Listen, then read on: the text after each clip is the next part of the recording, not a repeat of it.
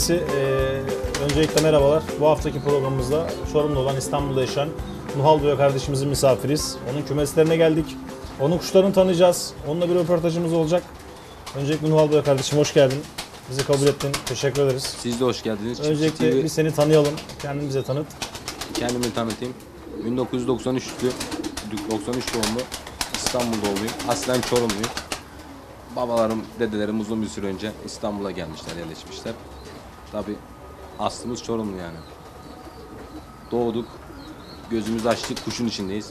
Evimizde kuş vardı ve yaklaşık yani amcamın deyimiyle bir 50-60 seneden beri yani evimizde, kültürümüzde kuş var yani. Çok. Biz de doğduk. Gözümüzü açtık kuşun içinde. Herhalde öleceğiz. Yine kuşun içinde öleceğiz. Kaç Öyle geliyor. itibaren başladın Nuh sen bu sevdaya? Kaç yaşında başladım? 6 yaşında başladım. İlk kuşlarım baskaydı. Amcam almıştı bana. Zaten beni de kuşa alış, aşılayan amcamdır. 2-3 takım almıştı herhalde. En son 7 takım olmuştu. 14 taneydi. 16 tane olduğunda Tas'taki yavrularla beraber ben okula gitmediğim için ilk sene okula gitmedim kuştan sebep. Bir sene geç başladım. Tabi babamın da şikayet üzerine kuşları götürdü satmıştı. 16 tane baskan vardı rengarenk.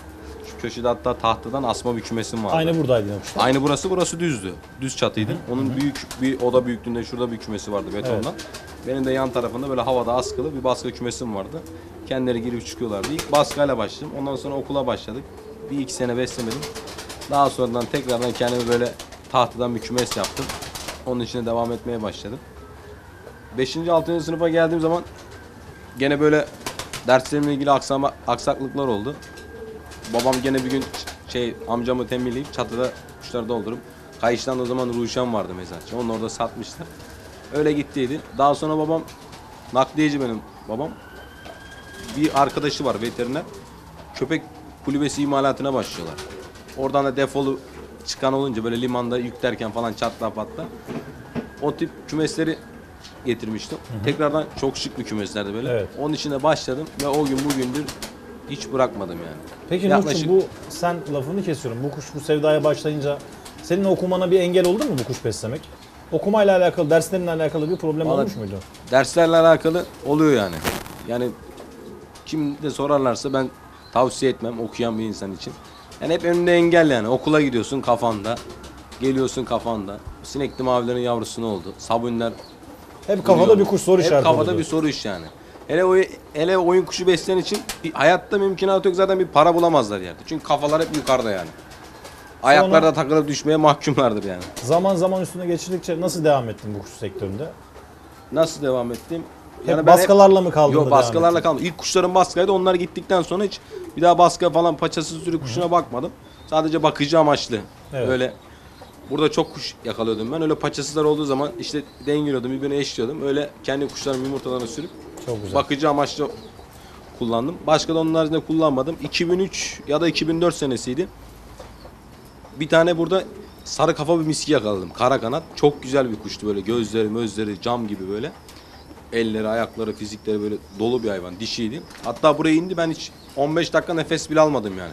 Kalkacaktı. İlk defa düz kara kanat miski o zaman gördüm. Yakaladım. Kaybeden de herhalde zaten ya ölmüştür ya da hastalanmıştır. Bilemiyorum ben onun üzüntüsüyle. Bir tane düz gümüş miskin vardı. Erkek böyle. Şebap büyüklüğündeydi. Takım amcamın arkadaşı onlara hediye etmişti. Dişisi rahatsızlandı. Yerde böyle boyuna takla atıyordu. Aslında oyun kuşuydu onlar.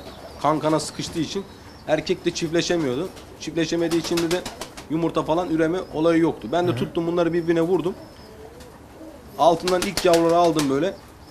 Gümüş böyle kafadan gümüş kara kanat miskiler çıktı. Yani sarı kafa olayını falan bilmiyorum tabi. Daha sonra ben bunları tabi vermedim. Eğer verseydim de zaten o kuşların o hale geldiğini ben bile inanmazdım. O ara ikinci yavrular büyüdü derken ama bir yavru yan tarafta böyle tüylendiği zaman dişi bir daha yumurtluyor. Bir çift Evet. büyük kümeste duruyorlar. Tahta kümes. Üre düre daha sonra onlar tüye girdi. Velhaskelim baktım çıkan yavrular ne anne ne baba. Baba gibi simsiyah anne gibi de kınalı böyle. Sapsarı kara kanat. Daha fizikli daha büyük böyle eller ayakları dolu misler çıktı. Ben bunları uçuruyorum tabii. Erkek oyun kuşu olduğu için Evet. oynayacak diye söküyorum ve bunlar okula ilkokul hemen şu optimumun arkasında zaten. Okula giderken sabah 8'de çatıya çıkıyordum. O miskileri kaldırıyordum. Zaten tek tek uçuyordum. Erkeği kaldırıyordum. Ben okuldan geliyordum saat iki buçukta ve hala uçuyordu. Akşam 6-7. Hele kışın çok zor oldu. Hava kararırken iniyordu. Kümesin ışığını dışarı çıkarıyordum. Işıkta öyle indirmeye çalışıyordum. Çok uçuyorlardı onlar. Tabii bunları kimseye görmedi. Bunlar yaklaşık bir 16-17 tane oldu. Bir kümes kuş. O zaman da bu düz kuşlar moda oldu. Yani ben böyle mezatlara gidip geldikçe şarabidir, mirodur, portakaldır, musuldur. Bunlar rövanş, rövanşlı olduğunu gördüm. Hatta bir kişi gördü onları bizde.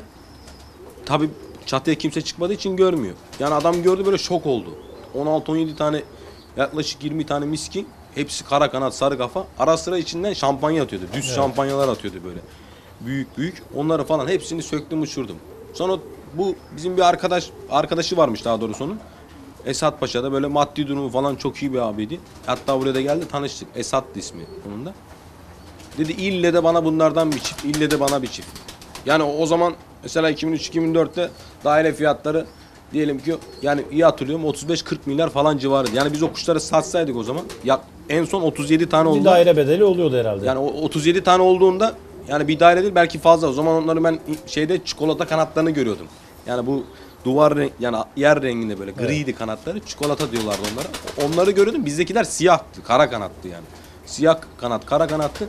Onlara 4,5-5 milyar, 5,5 milyar o arada satıyorlardı. Yani bizde 37-38 tane vardı. Yaklaşık bir 19 takım yapıyordu yani. Yani bir daire, bir buçuk daire bilemedin iki daire parası.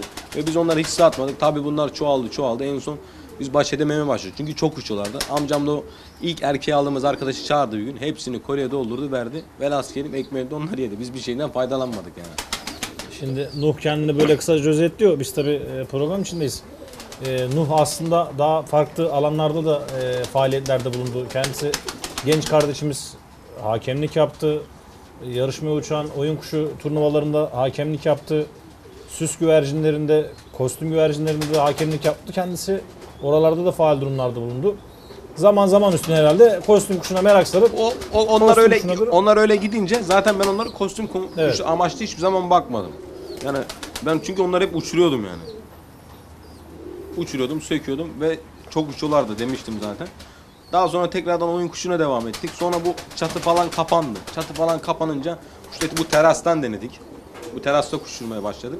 Kıbrıs'tan hatta bize bir beyaz erkek getirmişti. Mansur abi vardı Maltepe'de. Böyle kısa bacaklı, Musul'a yakın bir kuştu. O kuşu bizim bir tane dişi beyazımız vardı.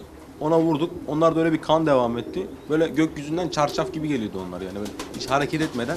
Yani poşet gelircesine geliyorlardı. Bu terasın içine girip terasın içinde oynuyorlardı. 16-17 tane kuşumuz oldu öyle oyun kuşu. Sonra bir gece çıktık, şey bir sabah çıktık baktık hiçbir tanesi yok. Bir tane kuş kalmış sadece dişi beyaz. O da arkada böyle bir yumurtası vardı kasanın arkasında onu görmemişler. Onların hepsini çaldılar. Sonra biz Tuncay abimiz vardı Marmaris'te onunla tanıştık. Onunla tanıştıktan sonra o bize Allah razı olsun ke- kendisinde kendi yok Allah var. Kuş göndermeye falan başladı.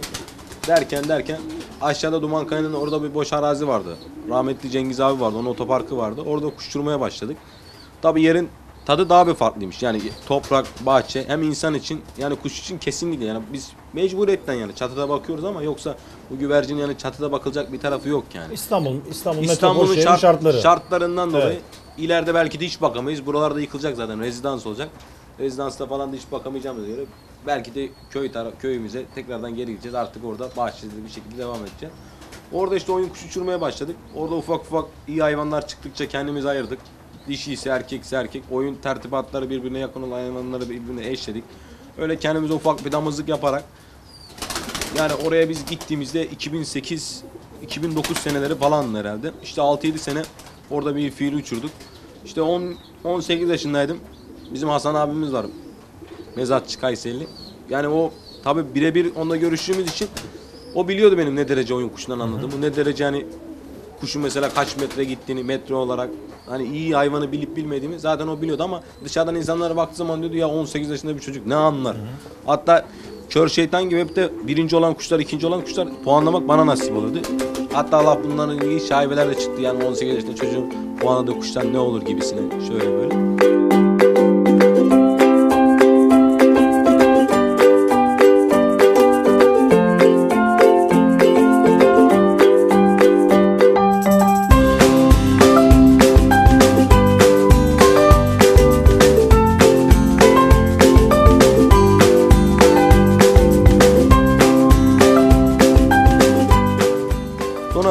İşte bir Arap erkeğim vardı yarışmaya uçurdum. Çok iyi bir hayvandı ama nasip olmadı yani.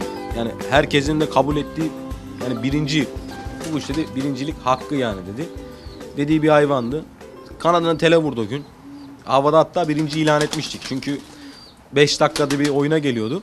O gün 45. dakikaydı. 9 tane sefer yazdırmıştı. Her geldiğini zaten yazdırıyordu deftere. Yaklaşık bir 3 saat uçuyordu. 3 saatte işte yani 12-24 32-33 sefer yapıyordu zaten. Böyle büyük puan toplayacak büyük oyun oynayan bir hayvandı. Ondan sonra onu kısmet olmayınca bir dahaki sene onun yavrularını aldım. Bir tane Arap yakaladım hatta dişi. Onu ona vurdum. 3 tane yavru aldım. Üçünü söktüm. Bir tanesinin kanadı kesikti hatta. Ona ayırmıştım. Öbür iki tane tam yeni başladığında bizim Tarık abimiz var. Müteahhit. O istedi. Ona verdik. Kırmadık ona verdik. Öbür erkek kendim ayırdım. O erkeği bizim yarışmaya tekrardan uçurdum ben. Bir dahaki sezon. Eke oldu. O da gece karanlığa kaldı. Dört buçuk saat uçtuk. Karanlığa kalınca da bizim bir arkadaşımız var. Tabii kötü amaçlı değil de iyilik amaçlı yani. Arabanın farlarını yaktı. Kuş da inmeye geldiğinde kendi gölgesini altta gördü. Korkuyor yani. Yani ayağını yere bassaydı yani Guinness Rekorlar kitabına giriyordu. Öyle bir oyun oynamıştı. 32 tane sefer. 6 tane de ezan okundu. 38 tane yaptı aslen. 6 taneydi. Ezan okunduktan sonra tüzükte yapılan oyun kabul olmadığı için 6 tanesi de yazılmamıştı. Hayvan böyle esnemeye başladı. Halbuki hiç yapmadığı bir olay. Gelirdi, vururdu, vururdu, perdalını yapardı, inerdi. Böyle esnemeye başlayınca ben korktum. İlk defa öyle bir şey yaptı. Başladı takla atmaya, vura vura vura vura. Gitti 30 metre alanın dışına düştü. 30 metre alanın dışına da düşünce yüzde 30 bu. Yalan olmasın öyle bir puanı kesiyorlardı. Geçmiş gün hatırlamıyorum. Bu puanı kestiler. Kesmelerine rağmen kuş ikinciydi yani. Yani yü- 500-600 puan olsa 130'unu kestiler. Yaklaşık 150 puana gidiyor. 150 puana gitmesine rağmen kuş hala ikinciydi. Beni hatta çok zorladılar. Amcam olsun, o yarışmacı hakem arkadaşlar olsun dedi. At imzayı, at imzayı. Ben atmadım imzayı. Yanık hakkı talep ediyorsun. 75 lira bir para bedel veriyorsun. Tekrardan 15-20 gün içinde veya bir ay içinde tekrardan uçurma hakkı talep ediyorsun. Ne zaman istersen uçuruyorsun. Tekrar bir hak talep ettim. Gene uçurdum kuşu. Uçurunca 15 tane sefer yazdırdı. Bu sefer gene havada karanlığa kaldı. Kayboldu. Yani ne ikinci olduk ne birinci olduk. Sonuncu bile olamadık yani. Hep bütün puanlar gitti havada kaybolunca. Tabi sabahleyin geldi. O bir hafta içinde işte kuşumun bu sefer tekrardan büyük bir yarışma var. Adapazarı yarışması. Türkiye'de Kırıkkale'ye kadar yani Türkiye'nin yarısını kapsayan bir yarışma yani. Şu ana kadar en çok vilayete giden yarışma onlar. Sagüder adı ismi de. Oraya işte bir hak yazdırmıştım. Oraya çağırdım. O gün de kuşu kaldırdım. Çok sefer yapan bir hayvandı. O gün de başladı gene sefer yapmaya. 11. seferim, 12. seferimi neydi? Kuşu atmaca kovaladı. Yani burada rezidanslar çok olduğu için Ataşehir'de Gökdoğan dediğimiz o dünyanın hızlı olan hayvanı var. O kovaladı. Hayvan gelmedi. 45 dakika sefere gelmedi. Yani 5 dakika daha gelmese diskalifiye oluyordu. Sonra geldi tekrardan oynamaya başladı işte 35 tane 36 tane sefer yazdırdı. O yarışmada da işte bir 5. olduk. Bir de bizim kendi yarışmamızda 10. oldum. Tabii birinciliği hak eden çok kuş uçurdum ama yarışmadan yana şansım hiç tutmadı. Zaten ondan sonra da dedim yani bir daha da yarışmaya katılmayacağım. Diğer taraftan da bu sefer kuşların da dengelerini bozuyoruz. Mesela nasıl kuşların kanatlarını kesiyoruz. Daha hızlı kanat atsın, yarışmaya yetişsin diye. Bu sefer de hayvanın yani doğal Allah Teala'nın yarattığı bu sefer içgüdüsel olayı biz değiştirmiş oluyoruz. Yani kuş 7 ayda kuş oluyorsa yani bir insan gibi ne olgunlaşıyorsa bir insan da nasıl 20 yaşında 19 yaşında bir olgunlaşıyorsa kuşun da öyle bir 6-7 aylık bir ömrü var. Tabii biz bunu 4 aya 3 aya 3,5 aya 4 aya 3 aya çektiğimiz zaman ve kanatlarını çektiğimiz zamanlar da oluyordu. Yani onlara falan tamamen karşıyım zaten. Kuşun birebir yani neyse orijinalliği onu yaşayacak yani. Doğası neyse kendi atacak kanadını, kendi tüyüne girecek. Biz bunları yaptık. Yani bu sefer de kuşların vebaline mi girdik diyeyim artık. Günahına mı giriyoruz diğer taraftan yarışma için. Baktım hiç olacak gibi değil. Yani yarışma için de kestim. Daha sonra bir psikolojik bir şey tedavi görmeye başladım. O tedavi sürecinde kuşla muşla ilgilenemedim tabii. Öyle bir çift tabii miski de beslediğim için bir çift Ümraniye'de Sarkan abi var. Ondan miski almıştım. Öyle bir çift derken iki çift derken mor maviydi. Ön tepe sabunuydu. Ön tepe mor mavi. Ön tepe çakmaklı. Ön tepe miski. Ön tepe beslemeye başladım. Daha sonra işte bu çift tepeler rövanşa girdi. Çift tepeler de rövanşa girince yaklaşık bir iki buçuk üç seneden beri işte bunlarla idam ediyoruz yani. Zaman zaman yarışmalara da gidiyorsun gördüğüm kadarıyla. Festivallere gidiyorsun, yarışmalara kuş götürüyorsun. Ha, Afyon'da evet bir çiptebe aslında çiptebe bu zamana kadar hatalı bir hayvandı. Mesela benim ön tepe beyazlarım vardı. Yani fizikli büyük, kasalı bugün şebap tabir ettiğimiz o beyazlardan vardı. Onların altından mesela çiptebe çıkıyordu ara sıra. Tabii çiptebe bozuk, olduğu için el altından veriyoruz. Yani bu, zam- bu zamana kadar hiç kimse yani arka tepe kuşu, çiptebe kuşu ne yarıştırmıştır ne de beslemiştir. Tamamen hatalı bir hayvan olduğu gözüyle bakarak el altından kimse görmesin. Hatta biri de görürse bak bak kuşlarından arka tepe çiptebe veriyor. Bozuk nesli Eskiden bu bir, vardı. bu bir kusurdu. Bu bir kusurdu yani. Ne yarışması oluyordu ne besleniyordu yani. Hatta Bursa'da bir arkadaşla tanıştık. Oyun kuşu uçuruyor bahçede. Yani oradaki ben onların yanına da gittim. Ön tepe miskiler, ön tepe sabunları var.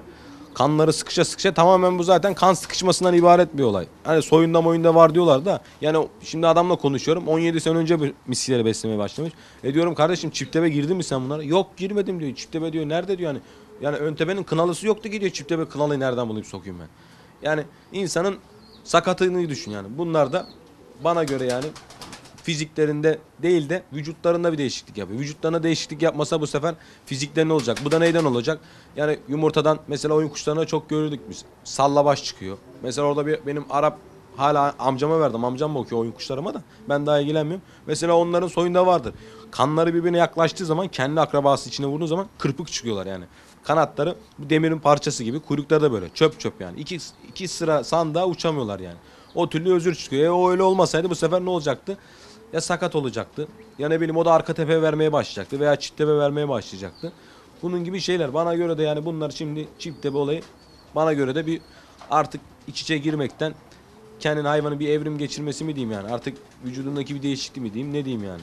Öyle bir olay yani. Bu zamana kadar da dediğim gibi bunun ne yarışması olmuş tarihte ne beslenmiş. Yani o çocuğu anlatıyordum işte. Oradaki kuşlar da eski bir ön tepe sabah misikanı. Çift tepe vere vere adamlar mezata bile götürmüyorlarmış. Hani kimse görmesin. Kuşlarımın çift tepe verdiğini falan görürlerse satamayız. Başkalarına diyerekten. O çocuğa el altından veriyorlarmış. Zaten diyor adam çift mezata götürüyordum diyor. 30 lira diyordum diyor. Kimse almıyordu diyor yani. Ben 3 tane kuşu diyor 2 çuval yem 3 tane çift tepe sarı kafa sabunu verip de 2 çuval yem aldığımı biliyorum diyor. Veya 30'ar milyondan verip 90 milyon para aldığımı biliyorum diye. E böyle olunca da bu sefer diyor kendi reklamımı düşürmüş oluyorum diyor. Kendi kuşlarımı kötülemiş, kendi ayağıma sıkmış oluyorum diye. Bu sefer de o çocuğa vermeye başlamışlar. Çocuğun kümesi yani sabuni miski olmuş. E sabuni miski olunca sonra bunlar tabi Gündeme geldi. gündeme geldi. Rövanşa girdi. E yani 30 milyon olan kuşlar 3 milyar 4 milyar oldu yani. Yaklaşık bir on- yani 100 katı üstüne koydu yani fiyat olarak. Peki Nuş'um senin bu çift tepe kostüm kuşlarında aradığın kriterler nedir yani? Ne özelliklere sahip olması lazım ki sen bu kuşlara bakasın ya da bakıyorsun? Vallahi şimdi ön- Aradığın özellik nedir mesela bizim bu çift tepe kostüm kuşlarında? ön tepe besledik. Yani şu andaki bana göre hiçbir çift tepe mi diyeyim artık yani belki de tek tük istisna vardır yani. Yani ön tepe olayını yakalayamadı yani daha çift Evet. tepe kuşları. Yani bugün mesela ön tepenin bitmiş versiyonları var. Sabuninin mesela kemeri ise siyah. Kanat üstü kremli ise kremlik. Kınası ise kına, eli ise eli, ayağı ise ayağı. Hatta artık evrim de geçirdiler hayvanları. Jumbolarını yapmaya Evet. başladılar. Yani çünkü sabunun son noktayı buldu. Bu sefer kasalarında, fiziklerinde bu sefer değişiklik yapmaya başladılar. Bir 4-5 sene sonra tahminim herhalde onu da oturturlar. Çünkü Türk milletinin yapamayacağı hiçbir şey yok yani. Ben buna inanmıyorum yani. Kafaya Evet. taktıktan sonra Türk milleti dünyada yapamayacak hiçbir şey bırakmaz yani. Senin bu beslediğin kuşlarda da zannediyorum çift tepe sabunlerin var. Çift tepe mermerilerin var. Miskilerim var. Çift tepe miskilerin, Mine- menekşelerim var. Ondan Ama sonra- ağırlık hep çift tepe üzerine galiba senin. Ağırlık çift tepe üzerine bir de renkli kuş. Yani Evet. renkliden kastım mesela yani heyecanlı. Yani kınası nasıl verecek, tepesi nasıl verecek, kemeri nasıl verecek, tüyden sonra kına yapacak mı? Yani renkli kuşun bir 6-7 aylık bekleme süresi var aynı oyun kuşu gibi. Kanadını kesip, kanadını kuyruğunu kesip atıyorsun kenara bakıyorsun. Yani 6-7 ay sonra kınası nasıl olacak? Kendi nasıl olacak? Mesela ağır kınalı çıkıp da tüyden sonra açacak mı? Yani fiziğinin üstüne koyacak mı? Bu gibi şeyler ama bu şu ana kadar daha çift tepe kuşu bir ön tepe kuşunu yakalamış değil. Belki bunun içinde beyazlar, Araplar vardır çift tepe. Ön tepe gibi eşdeğer kaliteli olan ama daha ben yani miskiye, çift tepe miskiye, çift tepe sabuniye öyle elli ayaklısı ön tepenin formatında olana denk gelmedim daha. Görmedim de. Senin tabirinle acı kanal dediklerin bir kısımları da. Ya var içinde yani acı kanalı, ağır kanalı yani. Evet. Öyle olanlar da var. Mesela şurada bir miski var benekli. Bu mesela çok ağır kınalı bir kuş yani. Evet, ön tepelerde Yani öyle ağır kınalı olanlar var yani. Peki Nurçum kuşların maşallah yerine geldik çok güzel çok güzel e, yerlerini yapmışsın pırıl pırıl her yer çok güzel. Yani bu temizliği nasıl sürekli koruyabiliyorsun? Maşallah bak kuşların hepsi tertemiz pırıl pırıllar. Elleri ayakları Vallahi- her yeri pırıl pırıl. Zaten Yani bu kuşlara ne kadar bir zaman ayırıyorsun? Ne kadar da bir temizlik yapıyorsun? Gününün ne kadarını bunlarla beraber geçiriyorsun? yani Nasıl bir de zaman kuş- ayırıyorsun? Kuş tabii çok çok olunca da çok vakit istiyor, zaman istiyor. Bir de bu kostüm kuşu, oyun kuşu da oyun kuşu gibi de değil yani. Evet. Önüne yeminin suyunu verip de yani çekileyim kenara. Gördüğümüz Yav- kadarıyla yavrularının saat saat zaman zaman Tabii. yemlerine veriyorsun. saat Sürekli saat önlerine zaman yemi zaman-. Hatta ben şu anda yem vakti değil de siz geldiğiniz için yeme gelsinler hani normalde yukarıda duruyorlar. Evet. O yüzden yem verdim. Günde bir sefer sağlam bir şekilde doyuruyorum. Tabii bu benim bulduğum bir doğru. Yani Evet. bana göre olan bir doğru. Başkaları şimdi kümesi gidiyorum. Yemlik silme dolu. Adam önünde yemi tutanlar Sen var. bunu tavsiye etmiyorsun. Önlerinde yem olmayacak. Ya ben tavsiye etmiyorum da yapana Çünkü da bazı saygı duyuyorum. Çünkü gördüğümüz yerlerde görüyoruz. Hep yemlikler e, ağzına kadar yem dolu. E, suluk zaten olması gereken. Ama bazı yerlerde gittiğim gibi senin gibi tabii yemliklerinde yem yok. Gün aşırı zaman zaman belli bir saat aralıklarla veriyorlar. Tabii ben şimdi sabahleyin saat 10 gibi 9 gibi veya 11 gibi neyse o saatte gelirim bir tam doyurmamak şartıyla yemlik yemlerini dökerim. Önünde hiç yem kalmaz zaten. Yem kalmadığı takdirde de kuş zaten direkt yavruya gidiyor. Evet. Yani ne kadar yem varsa yavruya bir boşaltıyor. Kendini aç kalıyor. Akşam geldiğim zaman da bu sefer öğlen verdiğimden daha çok veriyorum. Gece uzun olduğu için bir dahaki saat zamanına kadar. Yavrular olduğu zaman falan ekstra farklı yemler kullanıyorsun galiba. Tabii. o- ya bunun Mamalar yapıyorsun anladığım kadarıyla gördüğüm malzemelerini. Palet- Mamalar yapıyorsun paleti galiba. var, Evet. yavru hapları var, ne bileyim vitaminleri var. Yani bir sürü dolabın içi zaten şey dolu. Evet gördüm. İlaç dolu. İlaçlarımız da zaten ondan yana çok şikayetçiyim ama yapacak bir şey de yok. En azından Anadolu'daki insanlardan bir kademe daha şanssız. İlaçlar çok pahalı. Yani Evet. bugün aldığımız ilaçlar insan ilaçları o kadar pahalı Evet. değil yani. Bugün gidiyorsun eczaneye bir kutu ağrı kesici alıyorsun veya ne bileyim farklı bir ilaç alıyorsun 10 lira 15 lira. Ama bugün bir güvercine 80 gramlık bir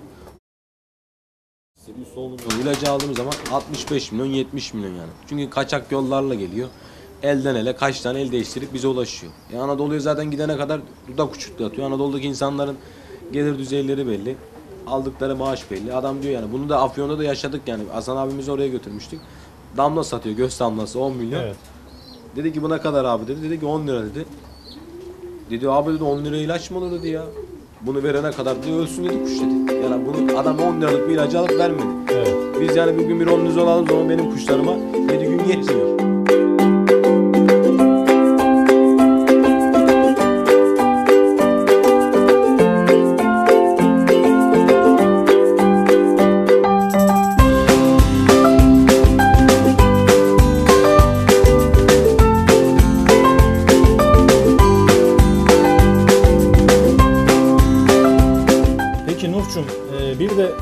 Bu baktığın kuşlarda artık bu sarı kafalar olsun, bu çifte ve sabunlar olsun.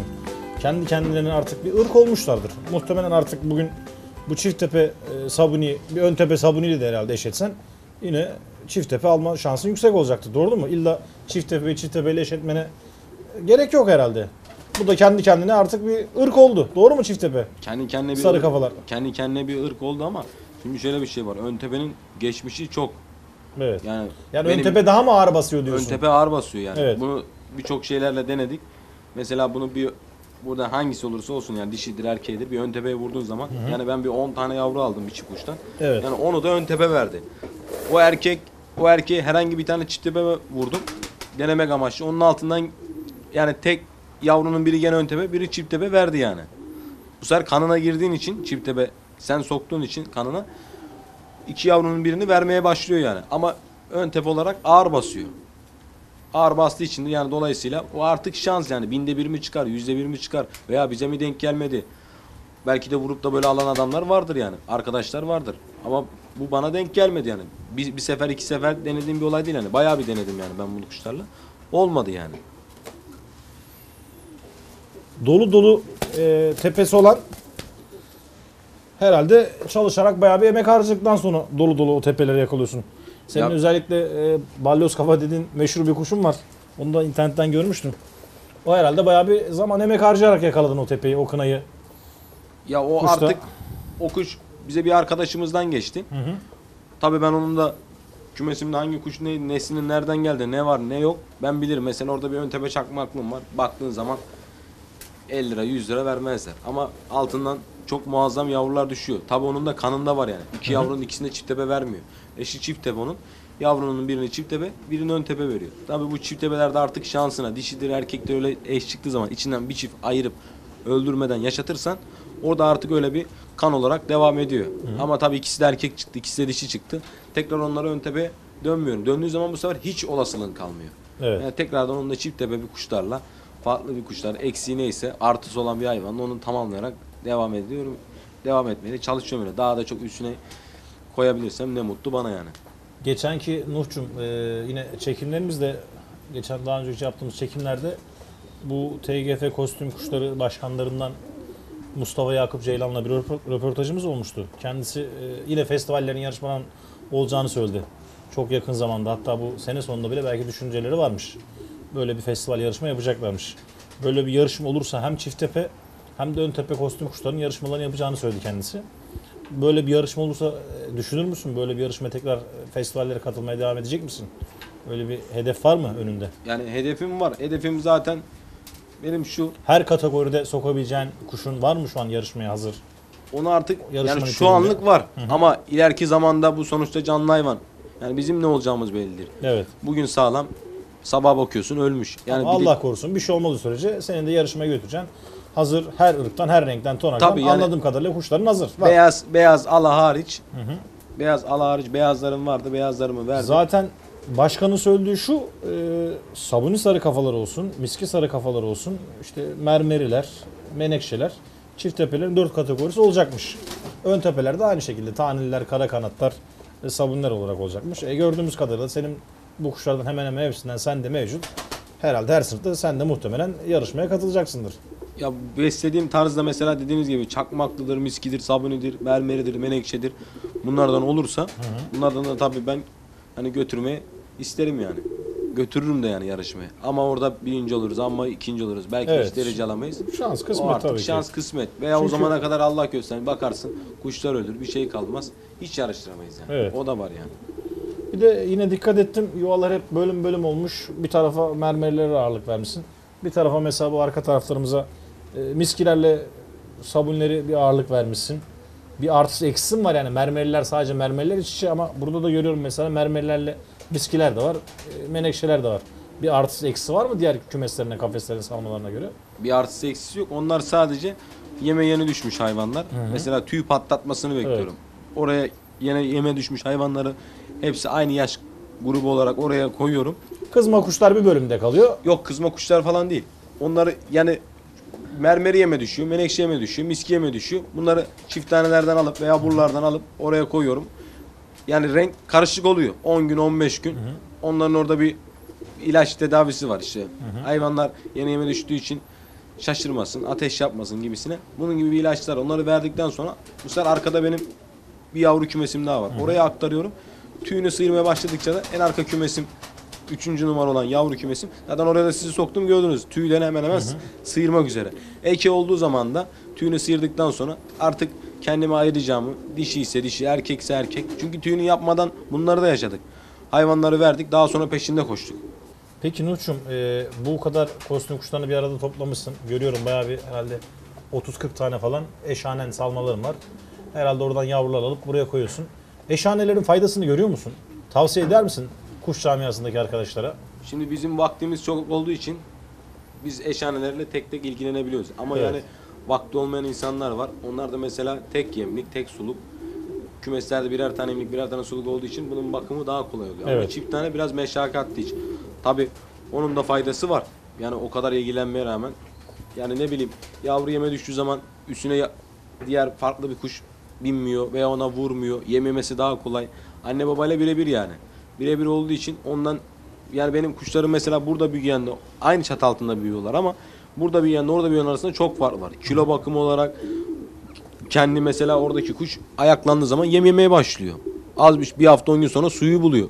Diğer mesela yavru kümesini onları oradan al- alıp koyduğum zaman hiç yadırgama olmuyor. Yemeninde suyunda gidiyorlar rahatlıkla buluyorlar. Ama esas burada olanlar kalabalıktan ziyade işte hayvan tam suya gidecek. Suyun içmeyi öğrenecek. Yabancı bir kuş, başka bir kuş geliyor vuruyor ona. Oluyor, Hayvan evet. kaçıyor veya dövüyor. Bunun gibi bir şeyler. Çiftenin yani faydası var. Vakti olan olan insan varsa tavsiye ederim. Ben yani oyun kuşu beslediğim zaman da olsun. Bu kostüm kuşların olsun çift tanem hiç eksik olmadı. Hep vardı yani. Bir kısımda herhalde yine e, bakıcıların var arkada gördüm. Bakıcı da kullanıyorsun galiba. bakıcı da kullanıyorum. Bakı, bakıcı bakıcı da yaptın. Onların da faydasını görüyorsun anladığım kadarıyla. Onların şöyle tabi. Şimdi Mardin kuşu gibi posta daha iyi yavruya bakıyor. Yani içgüdüsel olarak Mardin kuşu hele hele bu çiftebe kuşları özellikle çok narin hayvanlar olduğu için postanın baktığı gibi yavruya bakamıyorlar. Bir de Kostüm kuşları biraz daha nazik galiba. nazik yani bağışıklık sistemi de zayıf yani. Evet. En ufak bir hastalıkta ya göz nezlesi bile olsa yani düşünün yani yeme gelmiyor yani. O sancı yapıyor ona. Acı mı veriyor artık sancı mı yapıyorsa yeme bile gelmiyor yani. Yani demek ki o zaman bakıcıların da faydasını görüyorsun. Bakıcıların o faydasını kadar görüyorum. bakıcı hani durması Bakıcıların, faydalı bir şey. bakıcıların ağırlıklı olarak şu amaçlı kullanıyorum ben. Mesela deneme yaptığım kuş. Mesela tutmuş burada mermeri kanlarım var. Kendileri bazılarının bozuk ama çok güzel altlara yavru veren. Onlara mesela ellemiyorum. Niye altından gelineceği biliyorum. Vereceği yavruyu veriyorum. İstisna bozuk atıyor. Yani o zaten hiçbir kuşun altı dört dörtlük çalışıyor. Çalışan da görmedim. Çalışıyor diyeni de görmedim. Evet.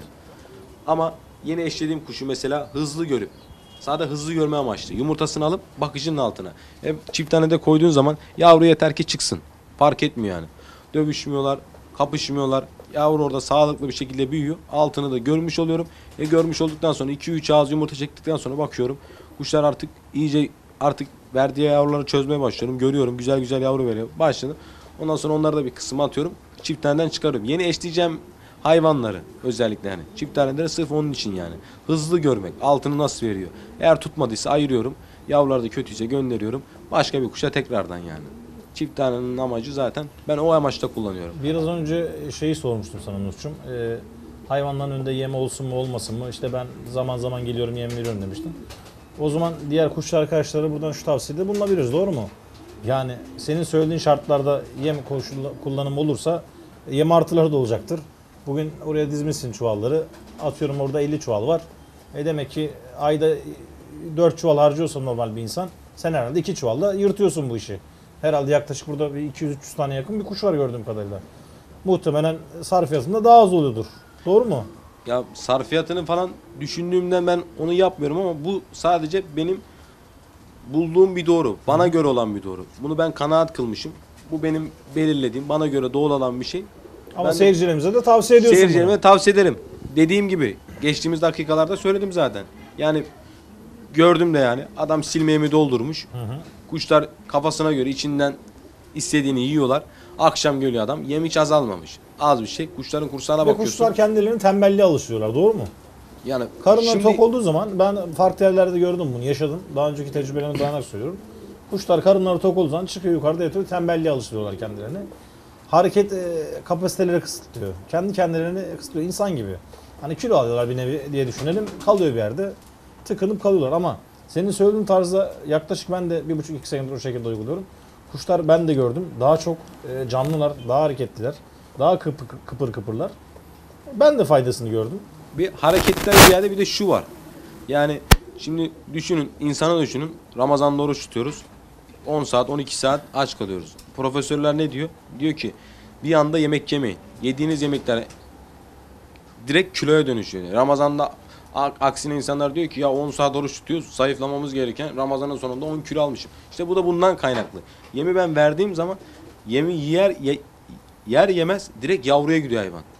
Çünkü yavrusu aç. Ama Evet. onu da denedim yani. Hep bunlar deneme yoluyla bur- buralara geldim ben. Şimdi yemi silme doldurduğun zaman içinden istediğini yiyor. Zaten istediğini yediği zaman da 3 tane 5 tane. Evet. Çünkü büyük bir kısmı yemlikte kalıyor. Büyük bir kısmı yemlikte kaldığı zaman kendi az yediği zaman yavruya gitse bir dert, gitmese bir dert. Çoğunluğu da gitmiyor zaten. Ama ben biraz önce de mesela gördünüz yemi döktüm. Az bir şey yediler. Yemi bitirdiler. Direkt Yine yerlerine geçtiler. yavruya. Bir daha peşine verdiği zaman gene yiyorlar gene yavruyu. E finalde de kuşları da aç bırakmıyorum tabi. Mesela baktım yavrular doyurmuşlar güzelce. Kendileri aç. Bir de kendileri için yem verdiğim zaman zaten gece artık kendileri hem vücudundan bir şey kaybetmiyorlar. Hem e, yani bir zayıflama herhangi o kadar ağır bir zayıflama olmuyor. Mesela adam var 10 tane yem veriyor. Kuş yiyor yavruya kusuyor. Yiyor yavruya kusuyor. E finaline bakıyorsun kuş bir deri bir kemik kalıyor. Bundan Zayıf sonra düşüyor. Farklı bir hastalıklara yol açıyor. Zaten bu kostüm kuşlarının bünyesi zayıf. narin hayvanlar, nazik hayvanlar. Bağışıklık sistemi de zayıf olduğu için en ufak bir hastalığa da hemen yakalanabiliyorlar yani. Evet Nuh kardeşim güzel bir sohbet gerçekleştirdik seninle. Ee, Bizlere, seyircilerimize başka önermek istediğin, söylemek istediğin fikrin, fikrin, düşüncen var mı bize başka söylemek istediğin bir şey? Güzel bir Vallahi- sohbet geçer, gerçekleştirdik Şunu seninle. söyleyeyim. Öncelikle buraya geldiniz. Ayaklarınıza sağlık. Çiftçi TV ailesi olarak da hepinize teşekkür ediyorum. Rica bize bu röportaj, röportaj yapma gereği duyduğunuz için, bize de bu yani böyle bir önem taşıdığımız için Allah İnşallah belki kuş camiasına sizlerle beraber e, faydamız olmuştur. Belki bir şeyler tanıtabilsek ne mutlu bize Tabii diyoruz. canım yani bunun şimdi belki de biz bu an en basit örneği. Yani bu yem olayından belki bunu bilmeyen insanlar da vardı. Tabii, Bunu tabii. seyredecekler. Onlar da deneyecekler. Ona da kanaat gelecekler. Ne bileyim çift tane olayına geçecekler belki. Bu gibi şeyleri görerek yani kimse bundan anasının karnında öğrenmiyor. Tabii. Tabii deneye deneye. Biz nasıl diyoruz yani? Bunlar deneye deneye. Tabii. Buralara geldik. Tabii için içinde zayiatlar verdik mi? Verdik yani. Ama yanlış deneye deneye doğru yolda bulduk yani Evet. diğer kuşçu arkadaşları da yani buradan abilerime, arkadaşlarıma, kardeşlerime, kendimden küçük olarak büyüklerime hepsine hep selamlarımı, saygılarımı sunuyorum. Teşekkür ederiz. Yani başka diyecek bir şeyim yok çünkü kuşçu milleti biraz ben bildim, ben doğrudur. Ben de fazla bir şey söylemek istemiyorum. Aynı şey de benim için düşünmelerini istemem yani. Kendileri denesinler, doğru yolu bulsunlar yani. Nuh Alboya kardeşimize çok teşekkür ediyoruz. Ee, güzel gerçekleştirdiği güzel röportaj için. Ee, bir sonraki bölümlerimizde tekrar görüşmek ümidiyle. Hoşçakalın sevgili seyirciler.